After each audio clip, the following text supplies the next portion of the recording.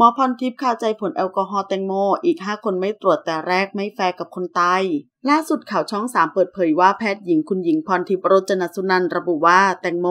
มีผลปริมาณแอลกอฮอล์ที่ตรวจพบในลูกตา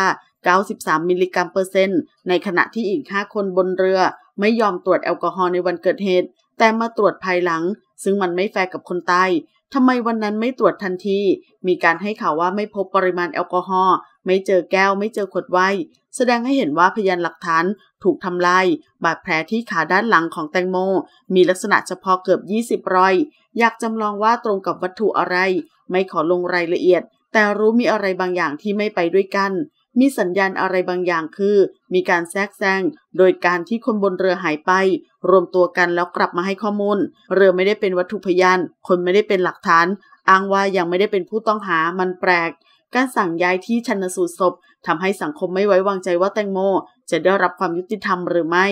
ศพไม่ใช่ปัญหา ปัญหาอยู่ที่การรวบรวมพยานหลักฐาน คดีนี้มีการปล่อยให้เรือหลุดออกจากห่วงโซ่วัตถุพยานทำให้ไม่ได้เก็บหลักฐานจากคนบนเรือโดยทันที มาเก็บภายหลัง ซึ่งเอามาใช้ทางคดีไม่ได้ คดีไม่ตรงตั้งแต่เริ่มต้น